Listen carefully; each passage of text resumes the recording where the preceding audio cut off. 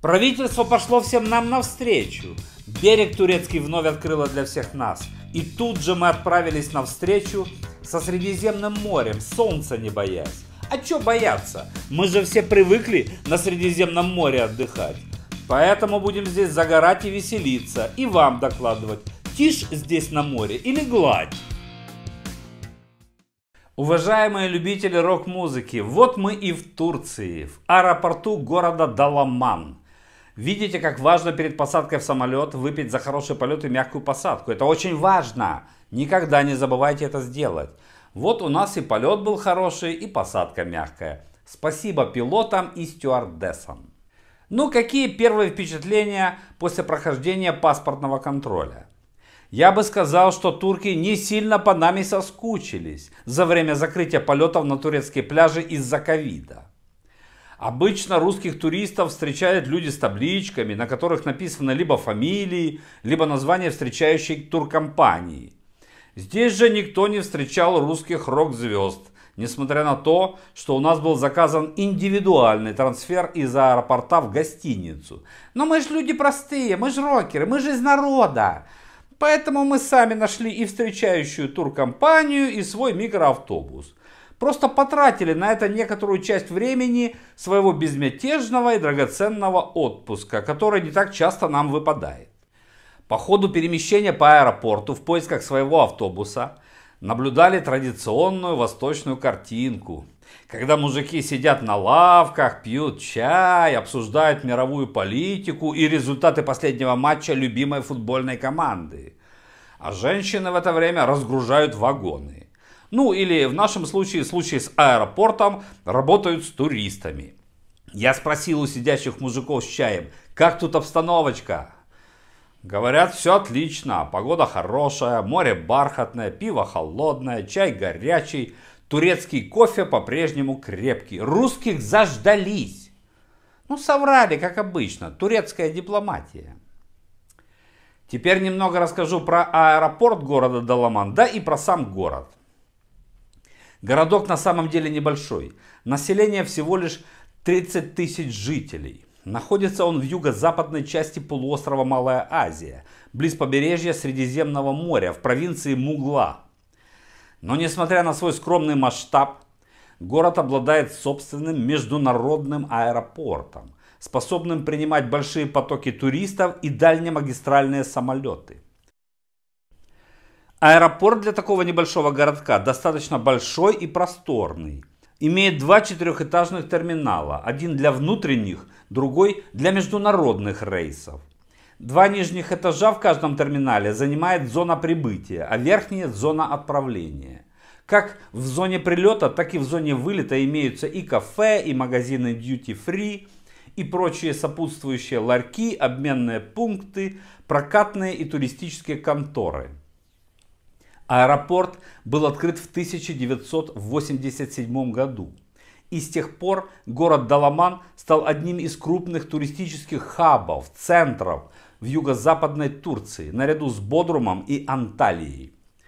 Аэропорт обслуживает туристов, прибывающих на отдых в Мармарис, Дальян, Олюденис и Фетхие, куда как раз и прилетела на отдых рок-группа Волощука СД.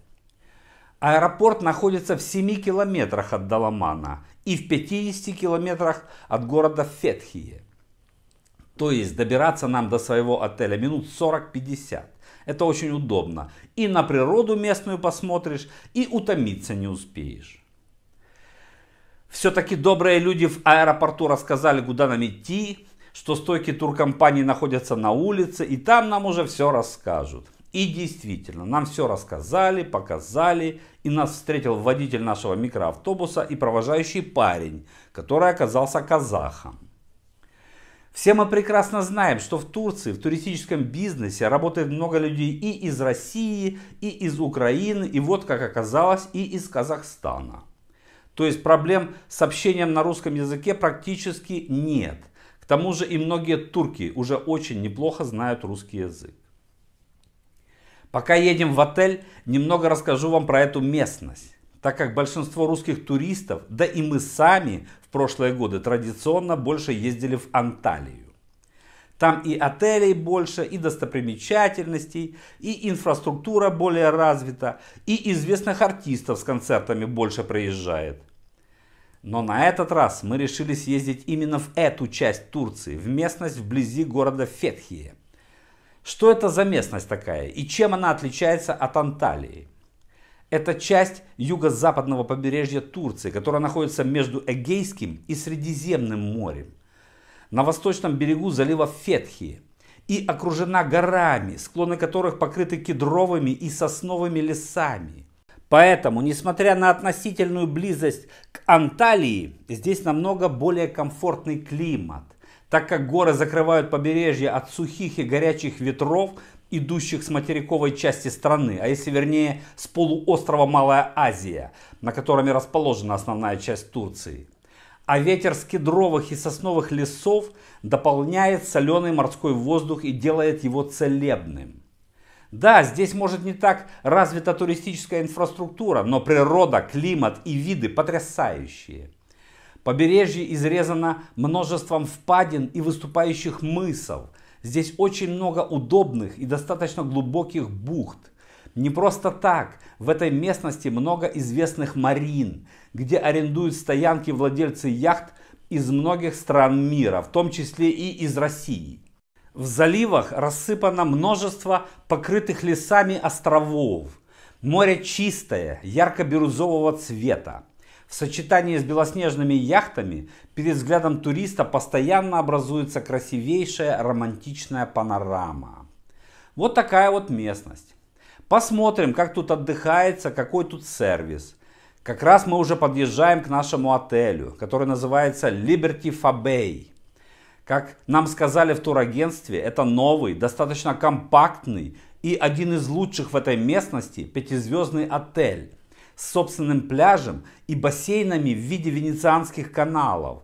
На одном из таких каналов и расположены наши апартаменты. Конечно же, это отель с обслуживанием All Inclusive. Но об отеле мы расскажем вам чуть позже, когда познакомимся со всеми его особенностями. А пока поздороваемся с сотрудниками ресепшн. Посмотрим, как они встречают русских рок-звезд. Здравствуйте, люди добрые! Здравствуйте! Как мы по вам соскучились из-за этого коронавируса, по таким красивым девчонкам и по яркому солнцу. Здравствуйте.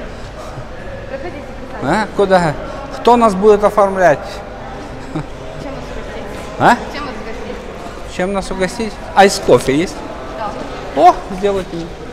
Уважаемые любители рок-музыки, но турки они хитрые ребята, видите, они как узнали, что рок-звезда приехала, а да, они же хотят автограф получить. Думаю, думают, как? Поэтому они хитрые. Они сначала принесли мне айс кофе вкусный, напоили, задобрили, и теперь я с удовольствием поставлю им подпись. Мне ж не жалко, вы знаете. Я на автографы не, не жадный. Вот, вот такой вот им прям, такой крупненький им автограф. Спасибо. Вот, вот. Видите, люди с благодарностью. Спасибо, говорят. Из жизни русской профессуры Из жизни докторов наук Истории вам без цензуры Расскажет рокер Валащук